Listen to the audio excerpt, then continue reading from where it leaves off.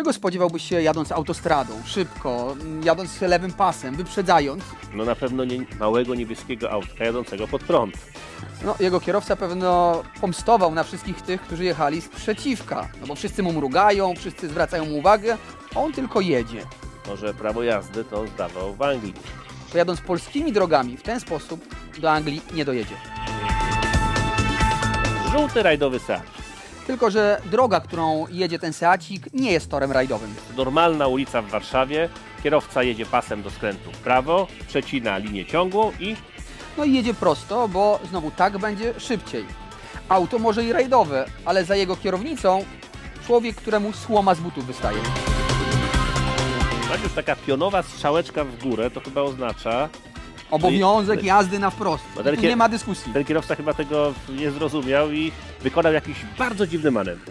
No, postanowił skręcić w lewo, a tego typu pionowe strzałki nakazujące jazdę na wprost nic dla niego nie znaczą. Był na środkowym pasie, więc zajechał drogę jadącemu lewym pasem. O mały włosa doprowadziłby do kolizji. A ponadto ten kolos na ulicach Warszawy złamał kilka przepisów. No chyba zasłużył na mandat w wysokości 1000 zł.